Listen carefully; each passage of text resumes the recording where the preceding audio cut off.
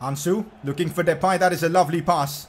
Memphis keeps it in. Goes for goal. That's what's up, Huh? guys. That is what's up. Memphis Depay with a phenomenal finish as Barca get the lead. I'm so glad we got the first goal of this game, so the pressure is off. Oh, here we go now. Space for Messi, maybe. The long ball for Huh? Messi is there.